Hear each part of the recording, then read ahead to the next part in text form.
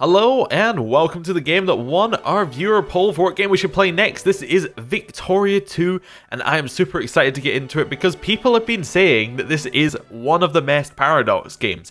And they've been saying it for a while, like the whole time I've been playing Crusader Kings 2, EU4, all that, there've always been people talking about like, oh, Victoria 2, it's it's great. You know, you kind of hear whispers like, oh, they should remake it, it'll be great. So I really want to kind of get into it and find out what makes it good. I haven't played it before. I have no idea what's really going on. But I have kind of looked up a few things and I worked out how we want to start and I've looked up kind of some basic guides and it looks to be mostly kind of general paradox things but it's a little bit older it's a little bit um it's probably going to be a little bit more obtuse but hopefully it will make it through so who are we going to be playing as well you might be able to tell by the fact that it's on the screen in a lot of places but we're going to be playing as belgium why are we going to be playing as Belgium? Well, basically, um, I looked up who would be good beginner nations, and this one seemed like a good, at, like quite a good one because apparently allows you to interact with a lot of different systems. There are a lot of different ways you can go, and we only really have one major rival apparently. We only have the Dutch to the north. So we are quite a small uh, nation in here. If I was playing something like CK2, EU4, I would be expecting to be eaten by France any moment now. But apparently that kind of stuff doesn't necessarily happen as easily in Victoria 2. There's a lot of aggressive expansion. I believe, I could be wrong, this is the game that that came from, that concept of aggressive expansion. I could be completely wrong, it's just from what I'm remembering. So, um, yeah, hopefully we'll be a little bit safe, but we should try and get alliances. Um, my beginner hints have told me that uh, the UK could be cool, but just looking on the map, I assume Austria would be a fairly good alliance. Prussia, Sweden. I mean, depending, Russia would probably they'd probably be reasonable. I don't know who's an actually good ally. Uh, someone like how what's that country right? Oh, that's is that Prussia? Uh, that is Prussia. Okay. So yeah, more Prussia there. They would be reasonably good, although the fact that they're bordering us makes me think they probably wouldn't want to be our ally. They'd more likely want to be someone who is going to be, uh, um, you know, absorbing us. Just from my natural tendencies, that's what I'm thinking. Uh, Denmark as well could be reasonable, I think, uh, but I really have no idea where we're going with this. So let's have a look at some of this different stuff. First one I have a look at is budget, because I have noticed there's this nice green line coming along here for a budget, and then this sudden red line going down. And that generally, that doesn't look very good to me. Yeah, so we're projected to lose 50 uh, pounds a day. Uh, how much is a pound in this game? How, where, do, where would I even see that? Oh, so we're up here. So 5,000 pounds is what we start with, but we're going to lose 50 a day. What are we spending it on? We are spending it on education, and administration, military spending, and national stockpile purchases. National stockpile purchases being the most of it. Okay, interesting. I wonder whether that's going to continue for a while or whether we'll eventually just stockpile and then that'll stop spending money. Presumably that's how it's going to work. So ideally we want to try and save a little bit of money. We probably want to try and get that budget turned around so we're gaining some money because money um, for a small nation is probably going to be worth a lot more because we don't have like military might, so we're probably going to have to buy our way out of situations, I would imagine. Uh, what else do we have? What, what do we produce? We produce wool, coal, glass, wine, and regular clothing. Alright, interesting. We see how this works. Okay, so we do have... So we have like factories that we can build. Okay, we're not maxed out on factories, but we have no... This is build factories, no. Okay, does this mean that we are not allowed to build any? Maybe it's like a political thing? Possibly. Okay. Um, oh, by the way, if you have any tips or any kind of explanations or anything uh, that you want to just tell me about the game, go ahead, definitely. Please tell me in the comments and I will uh, try and absorb as much knowledge as possible. I think we're getting into this, so yeah, we produce steel, sulfur, ammunition in that one, as well as coal and iron. So this is kind of like our... Um, this is like our, yeah, steel factory. This kind of military stuff, I would imagine, looking at it. Yeah, it's an ammunition factory. Okay, so we can see that if we hover over it. Oh, so we steel and ammunition, small arms, and that is all in that state. Okay, so we have two states, I would assume, right? Uh, let's have a look. Oh, no, we actually have a lot more states. We have, like, ooh, uh, 11 states? Yeah, okay. And then we have we only have that many factories in them. Okay, that makes sense. Uh, so in theory, we could have a lot more states, each with their own factories, but not right now. So open all factories from the list, close all factories from the list, subsidize all factories on the list, don't subsidize. Okay. So we can choose to invest in them. Uh, average infrastructure. So our infrastructure is fairly alright, according to that. So like we have normal infrastructure, I'd assume here. I'd assume 0.00 is absolutely normal infrastructure. We're not behind the times, we're not ahead of the times in terms of that. And then we also have reasonable uh, output, and then we have some capitalists which are also buffing us up, but but not by very much. So we don't have a lot of capitalists. We also have a lot more craftsmen who are. Oh, we have unemployed craftsmen in this um, area or in this factory. We have that or something. Does that mean in theory we would need more? Um, it's probably we have unemployed craftsmen in uh, Vlaanderen, and that means that if we get more factories, we could then use those people. I think that's what it's meaning. That would make some sense to me. It also says that we're not employing everyone that we could be employing, so presumably these 93 will just go into a factory when we start the game. That makes sense. Okay. Foreign investment. We cannot invest in foreign uh, things because we are not a great power. Fair enough. Production. Oh my god, what is this screen? So, um, does this allow us to... So if I was to click on... Let's choose one that doesn't look like it, we have a lot of investment in it. Clipper Convoy. So if I click on that... Oh, we can then see what uh, percentage of the world produ production we do. So it's like none of our production, but we're doing like 20% of the world production of this stuff. Okay. So then it, says the current price. I guess that's just the price. It's not something we can decide. It's just the price it is. Okay. That's fair enough. Um, so yeah, we've got a lot kind of riding on some of this stuff. So presumably what we want to try and do is get factories which then produce the things that aren't needed. That seems reasonably alright to me.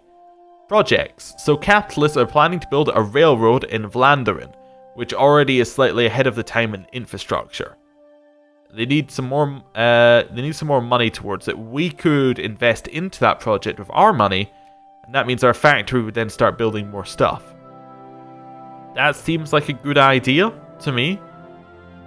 Uh, yeah, we could give it all the money we need. We don't need any investors for that then, and then that would allow us to get some of that stuff. Okay. Yeah, that seems reasonable. Um, although maybe we want to wait. Maybe people invest in it and then we can save our money. I don't know how much a thousand is. We're losing 19. We're losing 50 a, a day currently according to that. So that's not Gonna be great. We're colonial power. What does that say? Uh, so that's... There's something available there, it's saying. Oh, that's colonial power we have available. Do we have colonies as Belgium? Uh, how would I even find that out? Uh, I guess just look on the map for things that look like our color. I don't really see anywhere that's obvious, but I assume we must do, because we it says we have um, colonial power. I actually have absolutely no idea if Belgium had colonies. I assume that they did, but where they are or how big they are is completely, uh, yeah, no idea. Alright, well, we'll figure that out. Uh, what else do we have? We have down here, people have entered into military alliances. So a lot of people are meant entering military alliances with uh, Prussia. So we have uh, Brunswick, we have the Saxe Coburg Gotha, and then we have Hesse Cassel. So that's probably some of these small people around here. I wish you wouldn't go into this mode when you zoom in. I still want to see who the countries are at that point, because we're too zoomed out to actually see, but maybe it's not necessary in this game. Uh, what else do we have? Show hide current battle plans. Okay. Battle plan editor. Oh, right, so it's, it's got a little bit of that Hearts of Iron stuff in it. Technology. Okay, so in here, we can choose to start research on something. So if uh, I said that I wanted to start research on this, um, it would give us diff different bonuses and it would cost research points and we presume yeah we gain 9 research points daily. Okay. That makes absolute sense to me in every way. Uh, so we'll probably look into that after we look at everything else. Our administration is traditional academia. I have no idea what that means but okay that's fine. We have a political party. We are mostly conservative got a big big bit of liberal and then we got some reactionary. Okay and everything's pretty much right here. But we can try and change laws if we were if we have certain things. yeah, if we have people who want reform, we can start changing things around. So we can put in minimum wages, and that will get more people attracted to immigrate here. Okay, so this seems like something we can't change right now. It says none of this is something that we can change. Because, why? Um, reactionary vote yes, zero. Conservatives vote yes. Oh, because the Conservatives are voting no to everything. Seems fair enough. So presumably when the Conservatives are not in power, we will then be able to, like, put some more stuff in here. What's that one? French word for revenge is the yearning for the return of lost land to the nation. In love, war, and peace alike, our people uh, will be willing to make greater sacrifices for the return of our sacred soil. Alright, fair enough. Movements, what's this? Suppression points measure your government's power to suppress move, uh, popular movements. Okay, so if there was a movement, we could use some of our suppression points to try and push it some way. And or like we could either choose to like um yeah we could choose to suppress it basically. It doesn't look like we could choose to support it. I guess we could just do nothing and that would allow us to uh, support it. All right so if people are in favor of reforms then we can reform. Okay and then we have like different parties who all have different kind of opinions. That's fine. Don't need to care about that. Decisions okay so these are things that we can make under different circumstances so we're currently... Oh, apparently we're in the sphere of influence of uh, Great Britain. Okay. Um, so I assume that means that Britain are gonna, like, protect us a lot of the time? Or something like that? Yeah, we don't really wanna... Okay, so... We don't want to do anything about that. Seize the means of production. So this means that... Uh, what exactly? Perform nationalization. Okay. We can try and get better military is that like oh, so that means that we can kind of get some more stuff of our military, I think, and then uh, cooperative industrialism. Again, that means that we get some more stuff of our industry. I'm not entirely sure. Uh, release nations. Oh, we have Flanders and Wallonia underneath us. So these are just nations that are these are things these are satellites. So I think this means we haven't absorbed them, maybe. Uh, or are all oh, right? No, these will be these ones that are kind of off from us. So this will be Flanders. No, that's Netherlands. All of that is Netherlands, in fact. That's also the Netherlands. So these lands that the Netherlands kind of control. I'm trying to figure out what Flanders is exactly. So Flanders was around here, wasn't it? When we were uh, when you're in like CK2, is that not where Flanders is? I could be completely and utterly wrong. Okay, that that that would make sense. Yeah, I have no idea. So we have some people who are in our sphere of influence, but where they are, to me, no idea. Alright, that's fine. Don't need to worry about that then. Um, alright, so we looked enough. So basically we could release them, but we're not going to. Uh, maybe they're just underneath Belgium. Maybe it doesn't differentiate. Once you're through your satellite, they're just underneath you. That's fair enough. Anyway, uh, we'll ignore that one. Population. So what's this 0 out of 2 mean?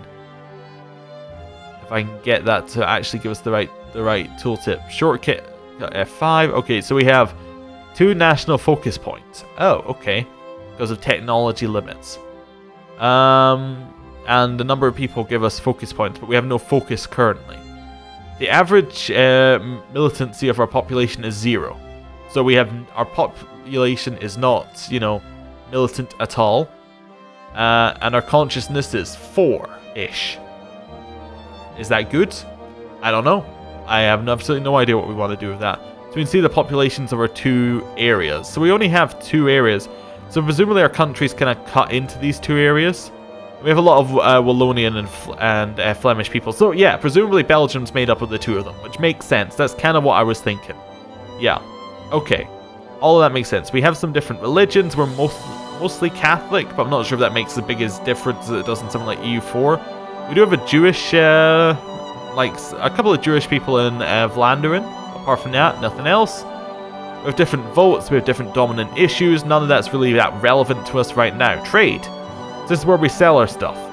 We can choose how much we want to stockpile for different things. Currently, trade is automated for, I assume, all good types.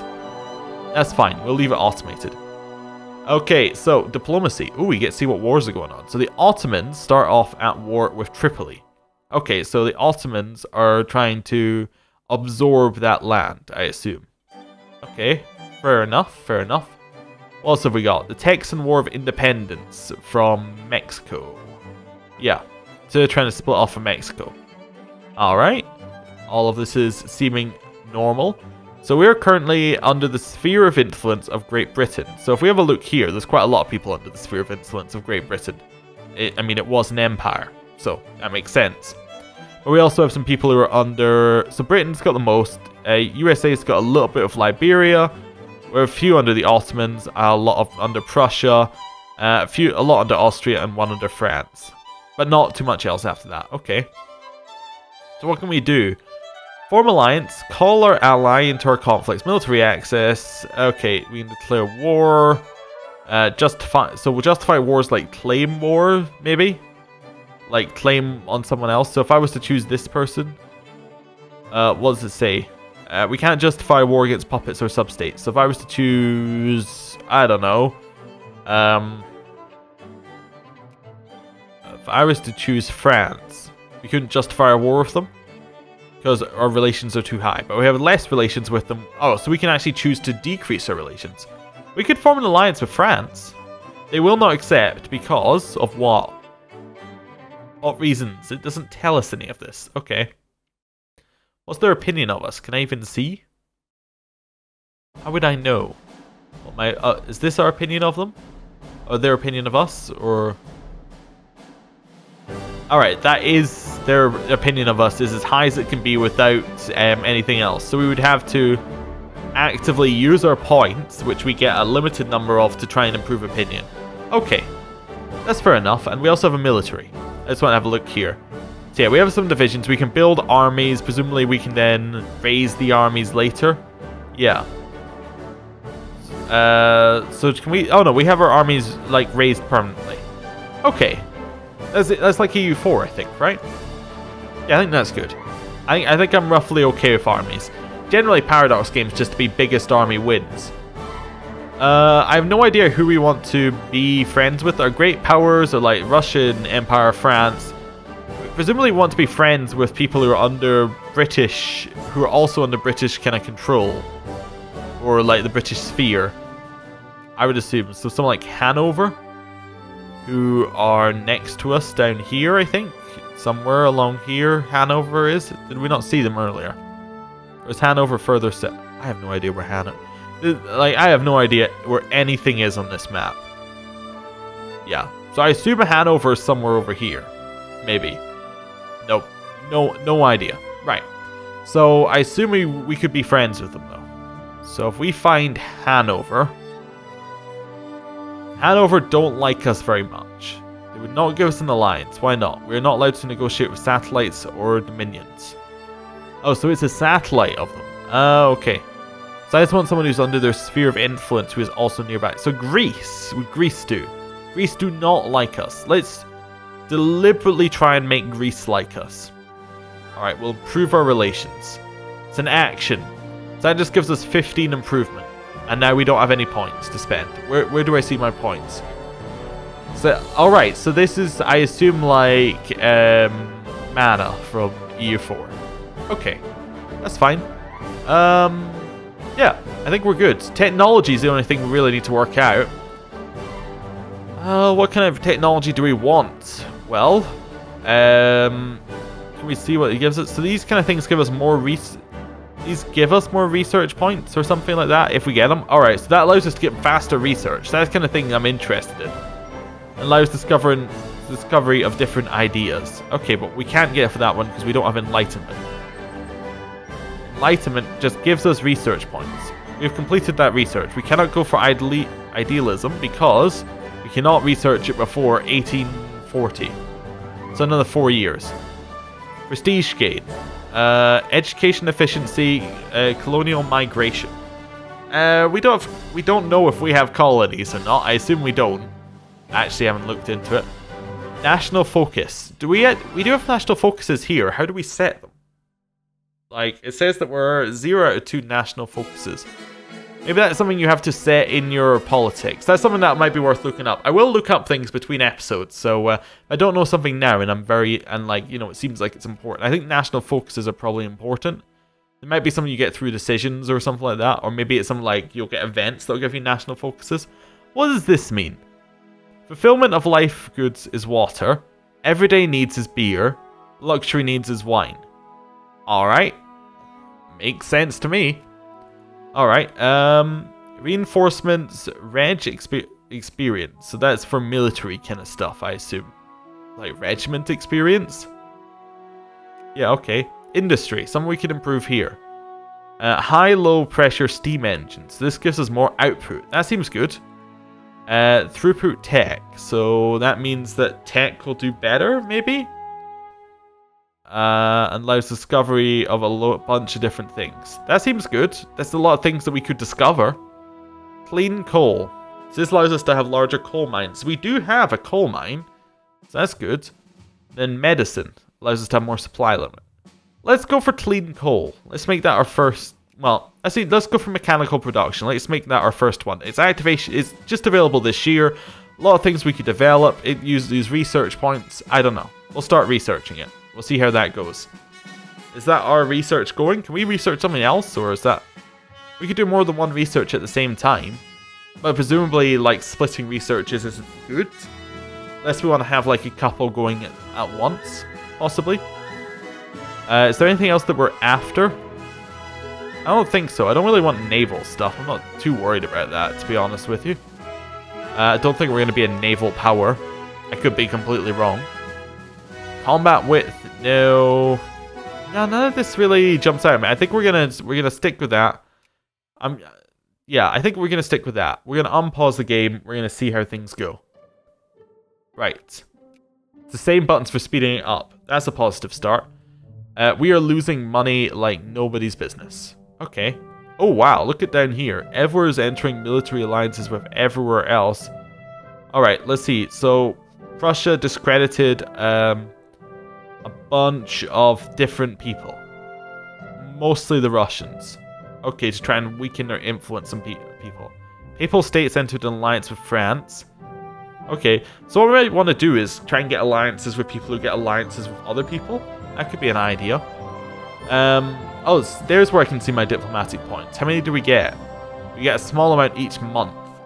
Okay. Now this game takes an is in a different time scale than a lot of the other games. So like um a month in another game might be a really short amount of time, but this goes daily. This that's like its base count is like, you know, uh, daily and it's a hundred years, so it's not that long. So a month is going to be much longer in this than in other games like it's going to be a longer chunk of the overall game time. What's this one? Alliance offer from Great Britain. Oh, yes, 100% I want that alliance. Yes, proceed. Proceed decline. What great options.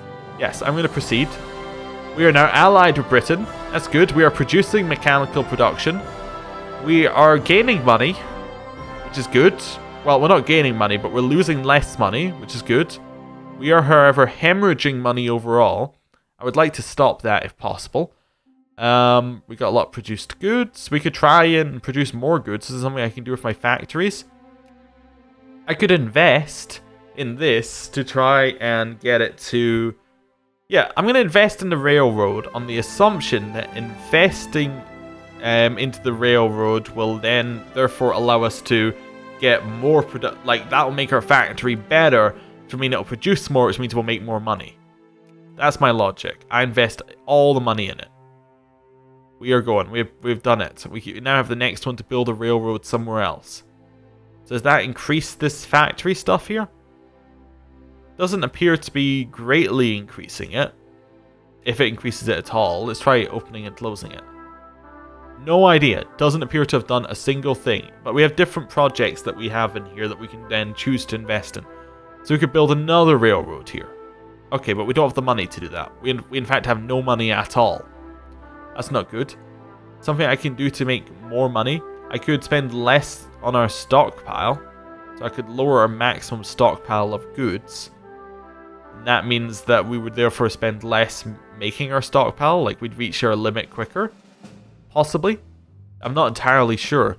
I'm kind of expecting an event at some point to pop up and kind of say, well, this welcome to the game. Here's like where we're starting, but that's fine. Our, our population is going up. Interesting. Okay. Our consciousness is going down like it said it would. Alright.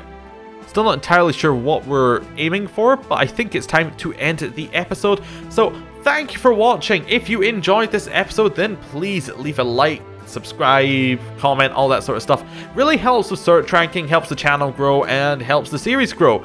If you have any comments about like how to any tips on how to be better at this or what we should be doing or oh my god why haven't you got this with this person already? Like why haven't you got this alliance? Why haven't you uh, you know conquered all of this land already? Come on tell me and i will try try my best to make things happen. So thank you for watching and i will see you next time. Goodbye